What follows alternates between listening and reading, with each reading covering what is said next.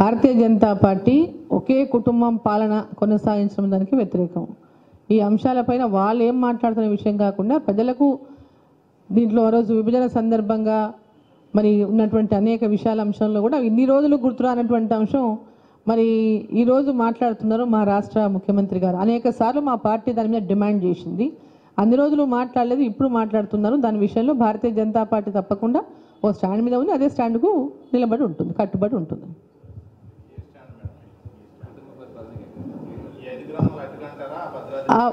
అక్కడి నుంచి అక్కడి నుంచి ఇప్పుడు కాదు ఇప్పుడు నుంచి కాదు ఎన్నాళ్ళ నుంచో భద్రాచలం నుంచి ఖమ్మం నుంచి ఆ ప్రాంతాల్లో ఉన్నటువంటి భారతీయ జనతా పార్టీ డిమాండ్ చేస్తానే ఉంది. ఆ గ్రామాలు తీవ్రమైనటువంటి ఇబ్బందులు పడుతూ ఉన్నాయి. చాలా ఇబ్బందులకు గురవుతా ఉన్నారు. వాళ్ళని కలపాలని ఎప్పటి నుంచో డిమాండ్ చేస్తూ ఉంది కోరుతా ఉంది.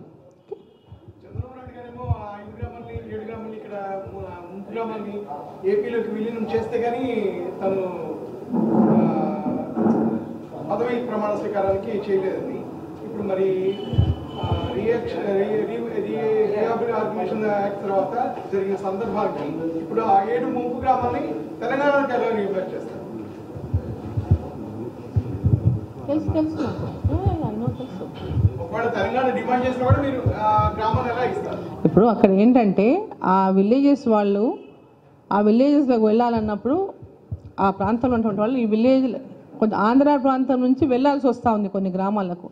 సో ఈ గ్రామాలు కలిపితే ఆ ప్రాంతం అంతా కూడా అవతల ఉంటుందంటటువంటి డిమాండ్ ఉంది అక్కడ. సో అక్కడ మౌలిక వసతులు లేవు. కనీస అవసరాలు తీర్చలేదు.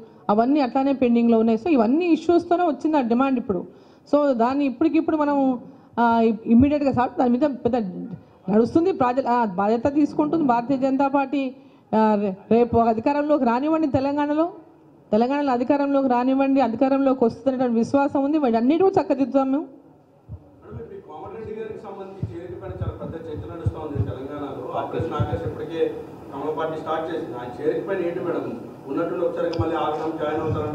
చాలా మంది భారతీయ జనతా పార్టీలో చేరడానికి సిద్ధంగా ఉన్నారు.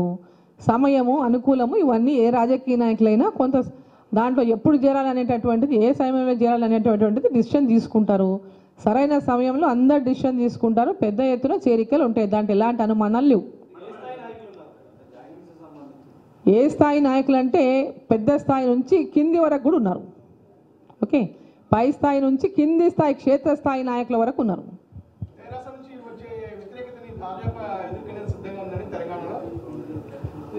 తెలంగాణ తెలంగాణ రాష్ట్ర నుంచి ఏంటి? భాజపా నాయకులు?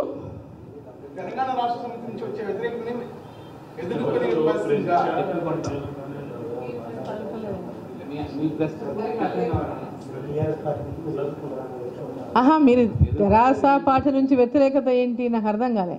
బీజేపీ మీద ఉన్న తెరాస పార్టీ మీద వ్యతిరేకత ఉన్నది తెలంగాణలో.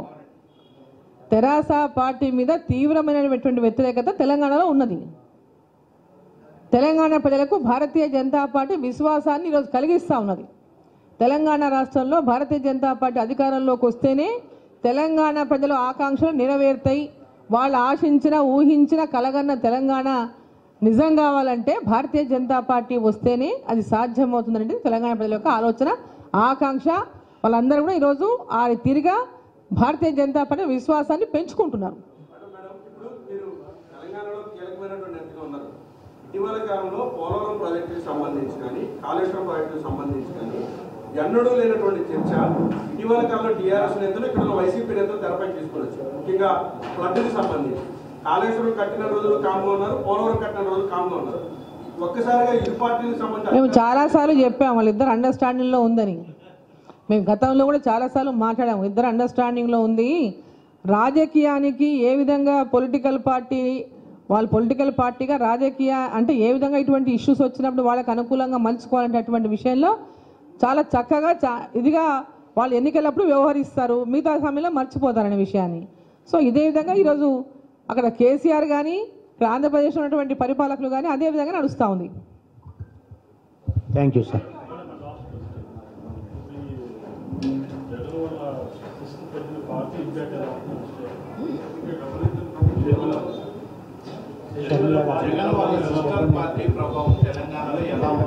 షర్మిల గారి పార్టీ ప్రభావం అంటున్నారా? తెలంగాణ ప్రజలు తెలంగాణ ప్రజలంతా కూడా ఒక సెంటిమెంట్తోనే తెలంగాణ రాష్ట్రాన్ని కోరుకున్నారు. స్వయం పాలన కావాలని. మరి షర్మిల తెలంగాణ రాష్ట్రం విడిపోయింది. తర్వాత అంతకుముందు తెలంగాణ రాష్ట్రం కోసం ఎప్పుడు కూడా వాళ్ళు పట్టుబట్టలేదు. తెలంగాణ ప్రత్యేక రాష్ట్రం కావాలని కోరలేదు. సో ఆ తర్వాత ఇప్పుడు వచ్చినటువంటి వాళ్ళలో వచ్చిన డిఫరెన్సెస్ కావచ్చు సో మెనీ రీజన్స్ కావచ్చు ఎందువల్ల మరి షర్మిల గారు తెలంగాణ రాష్ట్రంలో పార్టీ పెట్టి ఈరోజు తెలంగాణ రాష్ట్రంలో కూడా తను తెలంగాణ ఆడపడుచునే నేను ఇక్కడే పుట్టాను ఇక్కడే పెరిగానని తను అక్కడ రా- పార్టీ పెట్టుకొని ఎన్నికల్లో పోటీ చేయడానికి సిద్ధమైనారు. బట్ తెలంగాణ పీపుల్ అంతా కూడా ఇంకా తెలంగాణ రాష్ట్రంలో ఎవరికైనా సరే అధికారం ఇచ్చేద్దాం అనేటువంటి దీంట్లో లేరు. తెలంగాణ సాధించుకున్నదే తెలంగాణ ప్రజలు. తమ గతంలో ఆంధ్ర పాలకుల వల్ల నిర్లక్ష్యానికి గురైంది తెలంగాణ అని. ఆంధ్ర పాలకుల వల్ల అనేక నష్టాలు పోయింది తెలంగాణ అనేటువంటి ఒక సెంటిమెంట్తో తెలంగాణ రాష్ట్రం ఏర్పాటైంది. సో ఆ సెంటిమెంట్ ఉన్నంత వరకు ఇప్పుడు షర్మిలమ్మ గారు పార్టీ పెట్టినా లేదా ఇంకోరు పెట్టినా ఆంధ్ర వాళ్ళు వచ్చి ఎవరు అక్కడ పార్టీ పెట్టినా దాన్ని తెలంగాణ ప్రజలు ఆదరించేటటువంటి పరిస్థితి ఉండదని నేను అనుకుంటున్నా.